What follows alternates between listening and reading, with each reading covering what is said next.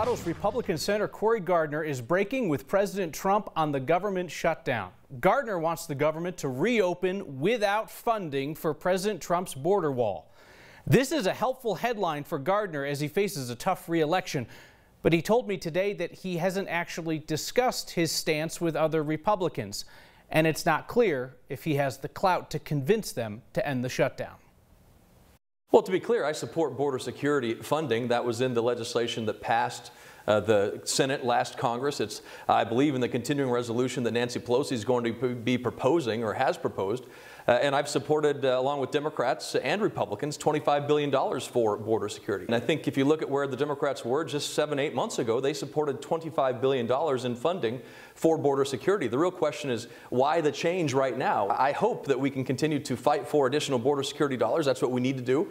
Uh, but I don't think shutting down the government's the right way to do it. We have recently seen a number of your priorities from marijuana banking reforms to the public lands bill blocked by fellow Republicans. What makes you think that you'll have any kind of pull or traction with them this time? The marijuana initiative, I think we've got uh, continued support from the president to get this done. I think that's something no other Republican has been able to do.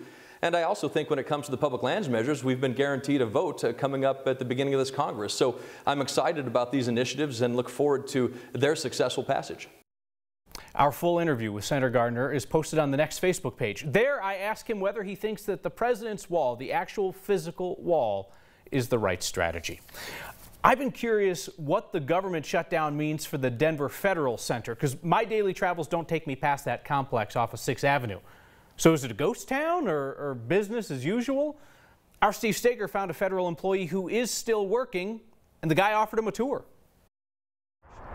If there ever was a place to see evidence of a government shutdown, it's here. Says so right in the name. The Denver Federal Center has about 28 different agencies here employing about 6,000 different uh, workers. Rich Stebbins is a federal employee. He's the local spokesman for the General Services Administration. During this lapse in government funding, the buildings are still open. GSA is responsible for keeping all these buildings up and running. We still have the majority of our folks that are still working. So his building is full. You could tell it from the parking lot. Travel around a little bit and you'll see this place certainly isn't a ghost town. There are people walking around. Employees at the Bureau of Reclamation are here because Congress already approved their budget. It's not a total shutdown, so we're keeping everything wide open for those folks that are coming to work here. They're even keeping this building open, the Bureau of Land Management even though the agency is part of the shutdown and the parking lot is practically empty. Perhaps the best visual example of the partial government shutdown is the parking lot of the USGS Ice Core Labs. The government is partially shut down and the parking lot is partially full. Because there is limited staffing around, it is a little bit quieter. Bottom line, the Denver Federal Center certainly isn't bustling. It probably just looks like your office does the weeks around a holiday. And hey, just because the agencies managing wildlife are closed, it doesn't mean wildlife isn't doing its thing, like this bird of prey in the Federal Center parking lot. Perhaps it's a metaphor. Too bad it wasn't a bald eagle. Extra points if you can tweet me and tell me what kind of bird that was. Now, if you were watching last night, you remember folks were asking about federal contact contractors and what happens to them during a shutdown. Kyle, I talked to a few of them today who, mm -hmm. who emailed us last night who say they're not going to get paid back pay for the time that they're off. They've yeah. had to file for unemployment benefits. And so uh, we tried to talk to some of them today. It just was kind of difficult. And none of them really wanted to talk to a camera and tell them that story because they're afraid of losing their job. That's understandable. That's absolutely understandable. Hey, good to have you back around these parts. Good to be back. We are getting some feedback tonight from a viewer named Tony Goss who thinks that we got it wrong last night. So we called out Democratic Senator Michael Bennet for starting a misleading claim about the impact of the national park shutdowns in Colorado, a claim that has now gone viral. Bennet tweeted that Colorado's economy was losing $1.9 million a day because of the park's closure. His team admitted to us they just divided the annual visitor spending due to park visitorship by 365 days. They ignored the obvious that our national parks are packed in the summer and the fall and they're largely empty this time of year. Tony emailed me to say that we failed to consider the losses in places like Estes Park, the shopping and the hotels and the tours and etc. So actually, Tony, I went back and looked at this again. The inflated number that was used by Senator Bennet's team, that comes from the National Park Service's estimate for all visitor spending at the park, near the park, all the ancillary spending. And we understand dollars, no matter the amount, Estes Park would like to see those again and soon. A congressman from Colorado kept his word on his first day in Congress today. Democrat Jason Crow of Aurora did not vote for Nancy Pelosi for Speaker. Crow voted for Senator Tammy Duckworth. It's a reminder that while every speaker in American history has come out of the House, there's nothing in the Constitution that says the Speaker must serve there. Another Colorado Democrat who had pledged to oppose Nancy Pelosi flipped as expected. Congressman Ed Perlmutter had cut a deal to guarantee Pelosi the votes that she needed to be Speaker. In return, Perlmutter got a promise that Pelosi won't serve more than four more years. At that point, though, Pelosi would be 82 years old, four years older than the oldest House Speaker in history. So who knows if she's going to run in 2023 or even if Democrats would still hold the House at that point. The deal with Perlmutter lets him claim that he got something in return for going back on his pledge to oppose Pelosi. And Speaker Pelosi is a master of these deals. That's how she got where she is today. There is no shame in being dunked on by the LeBron James of modern politics, but suggesting that getting dunked on was your strategy might be a stretch. Hick's packing up his governor's office so he can hit the presidential campaign trail after his days in office here. He's visiting Iowa and New Hampshire in the next two months. Now, a President Hickenlooper would have a say in a government shutdown. Governor Hickenlooper inserted himself along with the state's money in a pretty unusual way during the last shutdown. Our Marshall Zelinger asked him today, why not do it this time? In September 2013, Rocky Mountain National Park had to close because of historic flooding. One month later, it closed again because of a federal government shutdown. Colorado paid the federal government $362,000 to reopen it. Yeah, in 2013, we just had the massive flood. Uh, Estes Park was closed down by the flood, and right when they reopened, and it was when the leaves were turning color, right? Right at that moment, all of a sudden there was a shutdown. It would have decimated the economy of Estes Park. Uh, luckily, we're not at that point. Governor John Hickenlooper is not ready to make the same offer yet. When the leaves are changing in Estes Park uh, and in Rocky Mountain National Park, that's part of the best sales system or sales period for all those small businesses. Uh, I think now, after the holidays, with a shutdown, uh, it's not as dire. But still, serious. These are people's lives, right? But if you only saw Senator Michael Bennet's tweet, you'd think the national park shutdown was dire, costing $1.9 million a day, a dollar amount Bennet's office admits is not that high. Even if it's only $100,000 a week, that's real money, right? That's, that's the difference in a small business between success and failure.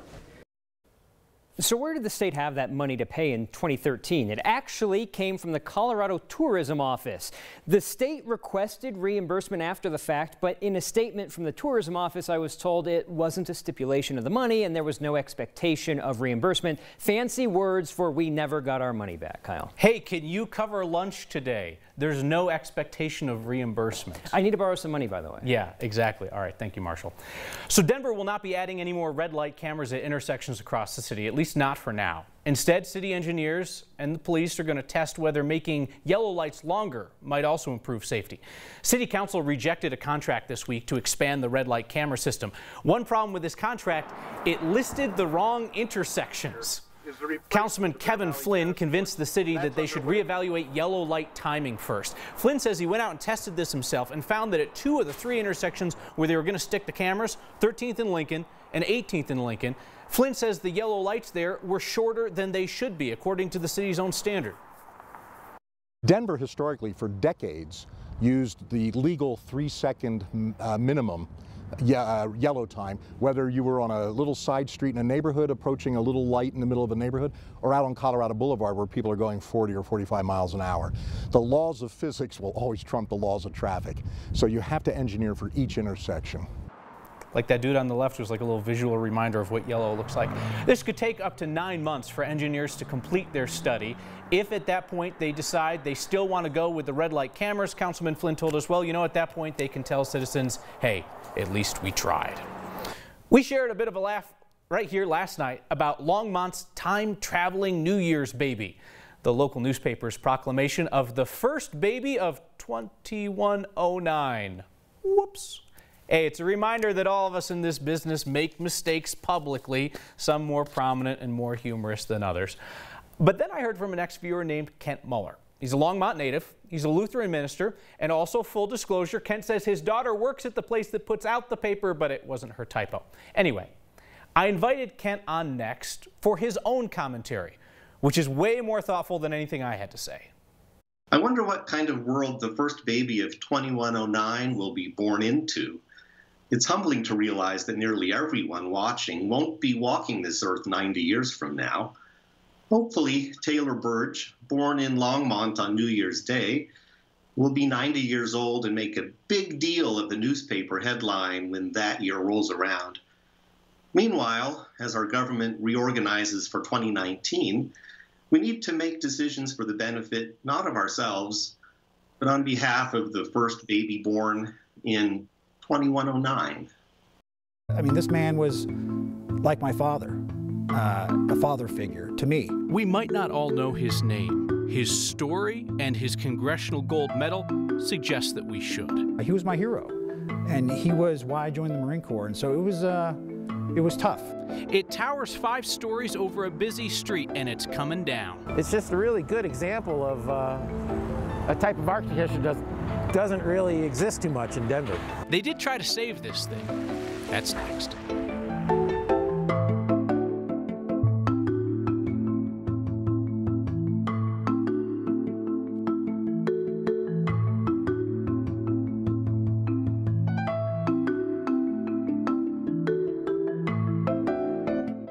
People are outside.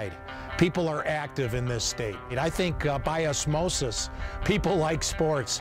People like athletics. Nothing bonds a community like the sports team.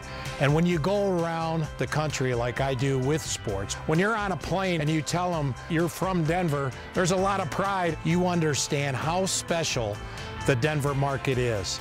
Even in the bad times, this is a great sports market. It's just a cool place to be. Of all the comforts we provide at Plumbline Services, the most important one is trust, and we do whatever it takes to earn it. Save up to $2,000 on a carrier heating and cooling system. Turn to the experts you trust at Plumbline Services.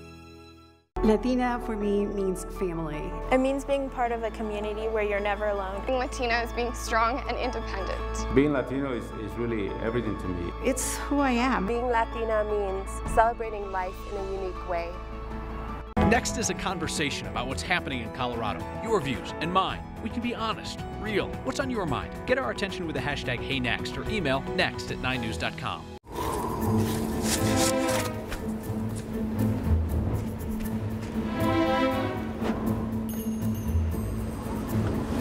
With our laser measured floor liners, no drill mud flaps, cargo liner, a bump step, and even seat protectors. WeatherTech has everything you need to keep winter out of your vehicle.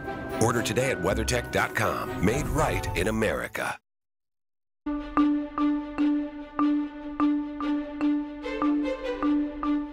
A chilly, snowy start to the new year, things are starting to warm up around here. How about 60 degrees on tap tomorrow? Yeah, it's going to be just gorgeous. We have stormy skies out to the northwest and also to the southeast into parts of Texas and Oklahoma where they're dealing with snow. None of that around here. It actually looks relatively mild tonight. We're down to 25, mostly clear. Those higher mountain valleys, though, Gunnison, Alamosa, I'm looking at you. You're going sub-zero, but not quite as chilly as early this morning. High pressure sets up across the state. This is going to bring us all that sunshine and the heat, too. We're talking 60 degrees on tap tomorrow with all that sunshine, light winds around. 50s across the eastern plains with some 40s up in the mountains. A nice little warm up on the way for you folks, too. 62 on Saturday loads of sunshine, all that snow that fell, oh, it will be long gone. We do have another storm system, though, that moves in on Sunday. That'll bring some snow to the high country, maybe a few flurries late Sunday night into early Monday morning. A little cool off, lower 50s, and then look at that, Kyle, back to the 60s in no time. Oh, away we go. Danielle Grant, thank you. I know. Tonight, we pause to honor a man who is not a household name in our state. Those who did know him say that he changed the course of their lives. Sergeant Major Archie Robinson passed away the day before Christmas Eve. He was 89. He started serving in the U.S. Marine Corps when it was still segregated. Later, he would be awarded the Congressional Gold Medal. That's America's highest civilian honor. People who knew him for more than three decades help us remember his legacy. Those values of honor, courage, and commitment weren't just words to him. I mean, he lived them for 30 plus years in the Marine Corps. My name is uh, Colonel Scott Stebbins, and I am here today to talk to you about my teacher, my mentor, my hero, uh, Sergeant Major Archie Robinson. Uh, the first time I met Sergeant Major Robinson was in high school, my sophomore year, 1983. I mean, this man was like my father, uh, a father figure to me. Uh, he was the reason I joined the Marine Corps. I think from 1942 to 1949, the Marine Corps was segregated. Uh, so black Marines went to Montford Point and white Marines went uh, to uh, Parris Island. I mean, he endured you know, a lot of racism, a lot of segregation. He didn't get all the good jobs, or he was a, a steward in a wardroom aboard a ship, you know, serving, serving officers. But that's not what he wanted to do. That's not why he joined the Marine Corps. He wanted to fight. He would purposely uh, screw up, uh, pour coffee on officers just to get out of being a cook or out of a steward so that they would ship him off, you know, to the front lines. And he fought in Korea, 1953, with Fox Company, 2nd Battalion, 5th Marines. Uh, and then he was also uh, in Vietnam uh, from 1968 to 1969. So he retired from the Marine Corps after 30 years of service, and then he still wanted to be a Marine. And so he became a assistant military instructor at uh, Adams City High School in Commerce City. He would take these uh, at-risk kids and teach them about history and about uh, um, leadership and about being a good citizen. He taught us, uh, we're all Marines. It doesn't matter what your race, color, creed, religion, or whatever, you're a Marine first. Anyone who wants to pay their respects to Sergeant Major Robinson is welcome at the memorial service tomorrow at Harvey Park Church and afterward he'll be buried with full military honors at Fort Logan. That's at 2.15 in the afternoon. Denver is losing a very recognizable piece of the city. Just because a building is lost doesn't mean it didn't have significance. The bridge to the future will soon be the past. And what happens when the people who put up the signs don't bother to read the signs? Next. Listen up, pizza. You might only be $5 on Fridays, but you've got all the makings of a champion. Now let's eat this thing! Sports! What? For $5 on Fridays, get a large sausage, cheese, or pepperoni thins. We make it, you bake it. Papa Murphy's. The whole idea of Next is that we want you to hear things and say, right on, that's what I'm thinking. And we also want you to hear things that make you squirm a little bit, make you uncomfortable, perspectives that you might not have considered, but are still thoughtful. And it's okay if you hear things that you don't like, because you're smart enough to decide whether or not you agree with it. Let's consider different perspectives. Let's give you good information so that you can make smart choices. You should expect to see and hear things that you have not seen and heard anywhere else. People are outside. People are active in this state. And I think uh, by osmosis, people like sports. People like athletics. Nothing bonds a community like the sports team. And when you go around the country like I do with sports, when you're on a plane and you tell them you're from Denver, there's a lot of pride. You understand how special the Denver market is. Even in the bad times, this is a great sports market. It's just a cool place to be. Latina for me means family. Being Latino to me means having pride in my heritage. It means being part of a community where you're never alone. Being Latina is being strong and independent. Being Latino is, is really everything to me. It's who I am. Being Latina to me means that I can achieve whatever I want. What Latina means to me is being bold. It's being creative, innovative, resourceful. Being Latina means celebrating life in a unique way. I'm kind of just on the cusp of making it to that next level, so I just got to stay ready at all times. Because you can play football, you can play basketball, you can play tennis, but you can't play fight. He looks beat up, and I'm so concerned about his well-being that I don't sleep. Got five stitches in my eyebrow. This is what Josh wants to do. This is what makes him happy. I just support him. I pray that when this is all said and done, that his mind and his body are okay to have a normal life.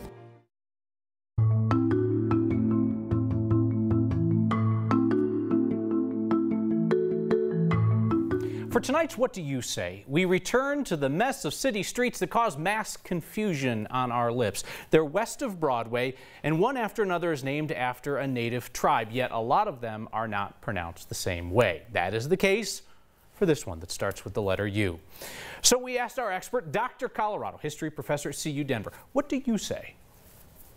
Umatilla is the way I've heard it. A branch of the uh, Indians living on the Umatilla River uh, near the Columbia River in Oregon. The name refers to a tribal village where there were many rocks. I bet Spanish-speaking people would pronounce it Umatilla. All right, that is one that I have mangled over the years. You heard Dr. Tom Noel say say Umatilla. I know I've said Umatilla over the years, and obviously he points out that other people, linguistically correct, would say Umatilla. Huh. That's interesting. Another example of Denverites going this way and that on pronunciations. What other place names trip you up? Or maybe we could settle a bet with somebody in your household or at work who says it differently than you do. Email next at 9news.com or get our attention anytime with the hashtag HeyNext. It is a sign that perhaps the people putting up the signs don't always read the signs. Next viewer named David saw this. Please help protect park trees. Do not attach items to trees. David noted the sign itself is attached to a tree at Mayfair Park. This was on Christmas Eve. That's pretty good. Send us the signs that make you smile. Email next at 9news.com or get our attention with the hashtag HeyNext. An iconic building in Denver that for decades has served as a pedestrian bridge over 9th Avenue is being demolished. Developers say they could not come up with an affordable way to salvage the so-called bridge to the future. Before it becomes the past, we asked a historian to talk about its significance. We're watching, sadly, the demolition of a great architectural building here in Denver. This old bridge building is a good example of mid-century modern architecture. It makes me feel sad, actually, that they're tearing down something like this. I'm Annie Levinsky. I'm the Executive Director of Historic Denver, a local nonprofit advocacy group underneath the part of the old hospital building at 9th and Colorado.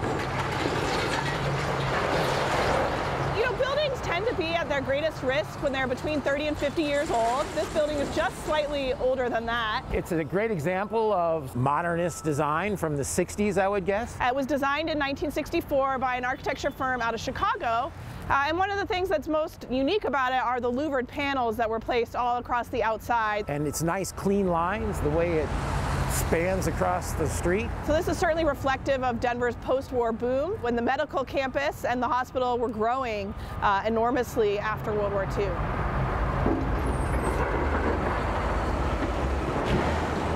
I would have liked to have seen it kept. You know, I do empathize with people who are saddened by this demolition. Uh, we're seeing a lot of change in our city, and buildings like this help anchor us. And this building certainly has merit for its architecture and also for the story it helps tell about how our city grew and developed and expanded our healthcare industry, which, of course, today is one of our major activities in Denver. That massive redevelopment of 9th and Colorado is expected to include some apartments, condos, townhomes, movie theater, restaurants, and shops. All these people, you know what that's likely to do to traffic on an already packed Colorado Boulevard. As an old coworker of my wife used to say, and I love to repeat, Colorado Boulevard is never the answer. Speaking of answers, a ton of you wrote in with an answer to Steve Staeger's question tonight, and a woman in the audience suggests that Perhaps my gender had something to do with my language tonight. We'll discuss next.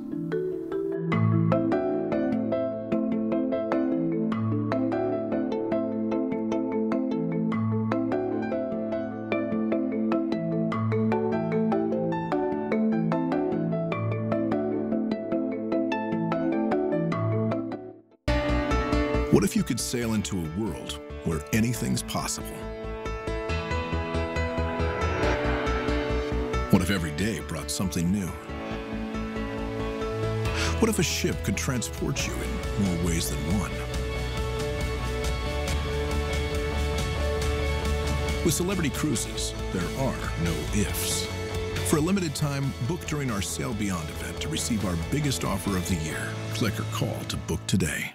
I'm Corey Rose, sharing Colorado stories, 9 News, everywhere.